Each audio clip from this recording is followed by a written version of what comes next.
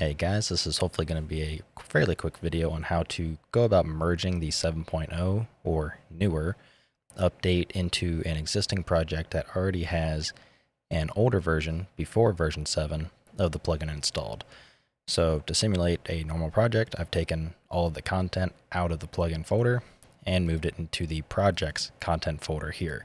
So this will simulate, you know, a project that has blueprints that already are using the plugin as a dependency because again, this is going to be uh, mainly a focus on working with redirectors. Now, I've already, well, I'll just show you when we get there.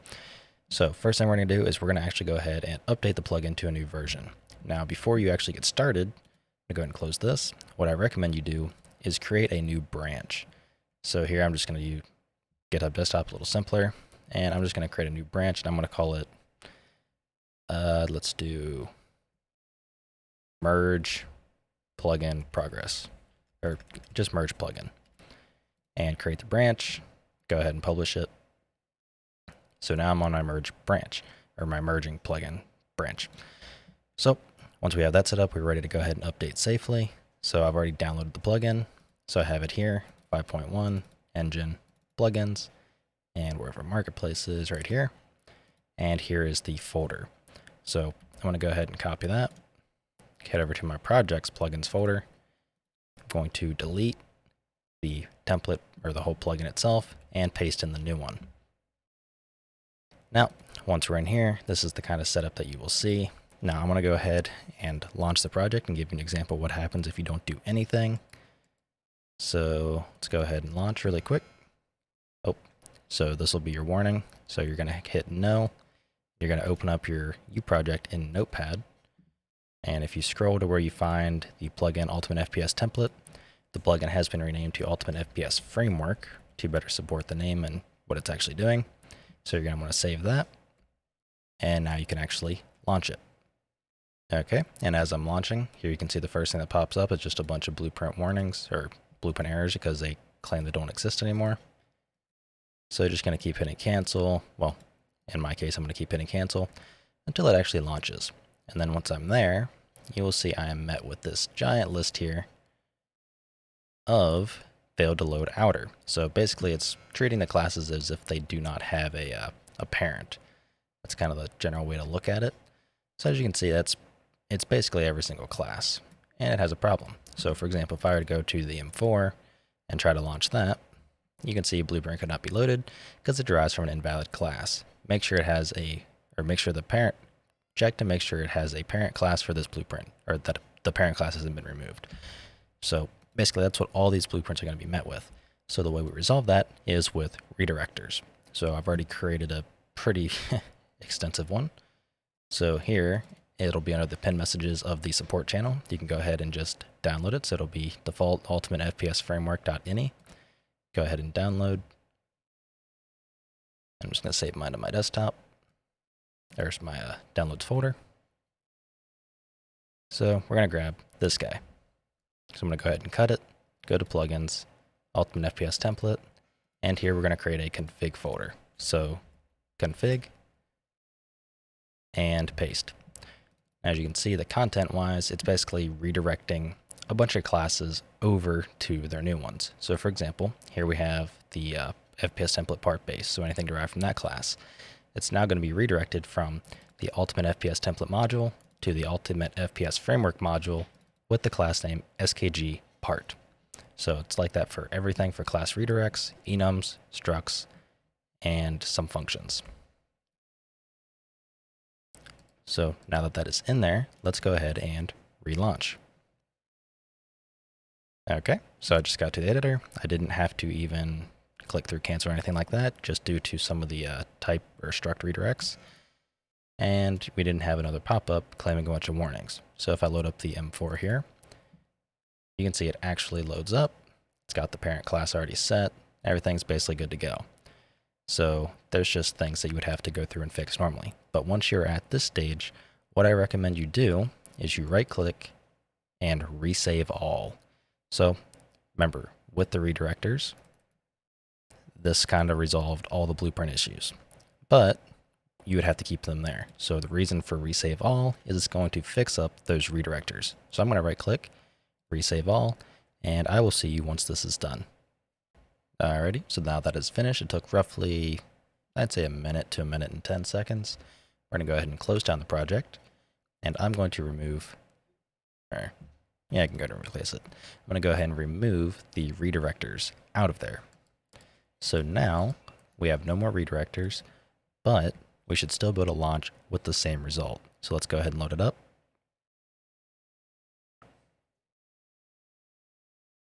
All right, so as you can see, it loaded everything just fine. And we are now good to go. We still have our, you know, M4 and everything's already still set up. We don't have the parts because it uses a uh, different system for the possible attachments, which that'll be covered in a future video. But we are basically good to go. Now it's just up to actually fixing up the blueprints themselves. So for example, since a lot of stuff has been moved to interfaces, we are going to want to resolve that. So for reference, we're going to go ahead and load up the example character here, and I'm going to give you a walkthrough with just a couple of them. So for starters, here we have the zoom and high and low port. So when I say zoom, I mean zooming in and out with your optic. So we already know, for example, here it says invalid message node you can kind of get a rough idea of, okay, this is using an interface function because it now has uh, the little envelope there. So we still have our character component and all that stuff. That's all the same. But as you can see here, we're getting the aiming actor. Now get aiming actor and get firearm has been replaced with get held actor. So if I drag off of the character component, I can search for get held actor and that comes up so we can plug that into is valid. And as you can see, we have, oh wait, there, that's from the character component we're going to want to check over here. And as you can see, we have an indication of zoom, an indication of zoom. So we know we can search for zoom. And you'll see we have zoom optic under the new sight interface.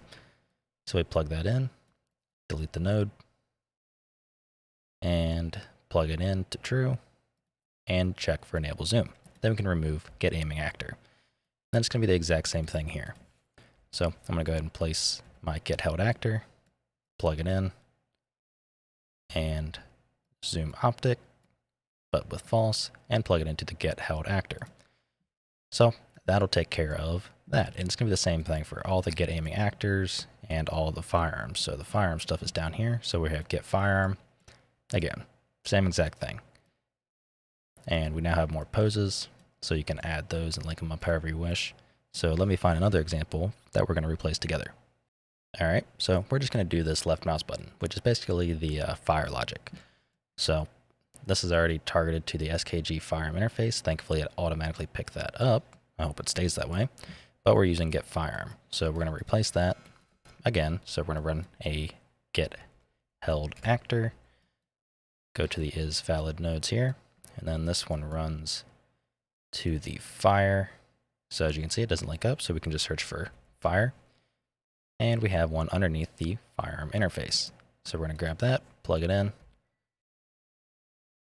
and plug that into, let's see, that was running into none and short stock. And we also have these extra poses, so I want to plug it into there as well. So we're going to run it into none, short stock, and I want to shoot from the opposite shoulder, as well as both the blind fires. So we can plug that in like so.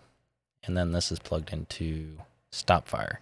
So we're to drag this. We're to search for stop fire, also an interface function, and that's plugged out of this is valid pin right here. Then we can remove get firearm, and that is another issue fixed. So I'm to head over to the firearm itself and fix one there, and that should give you basically the rough idea on how things are being uh, handled. So pretty much everything is done through an interface now. That is for your sights, attachments, firearms, all that stuff. Okay, so over here in the import base class, uh, as you can see, it actually turned one of them into an interface function call already, which that's actually quite handy. So we're going to plug that in so we can see that uh, this whole section here, let's actually fix this guy up really quick. So get projectile socket transform from center, get projectile socket transform from center, plug in the minutes of angle in, and grab the max distance to test, make sure that's the same, aiming override, and we are good just making it match. Okay, let's go ahead and drag this forward a bit, clear up some room. And I'm just going to plug in the execution pin after the handle muzzle heat. We're going to plug it in like so, and then plug it in after. So I don't feel like kind of removing stuff around, so this can be the cleaner, I guess, kind of way to put it. But that will handle and fix that up. So we can go ahead and save there. We have another use of get firearm stats. So somewhere in here, we plug that into the activate projectile. So let's slide that on over and link the get firearm stats up there. Get muzzle socket transform, same kind of thing. We can plug that in right here. Slide you over, plug it in, and again, thankfully it picks up the majority of the interface functions.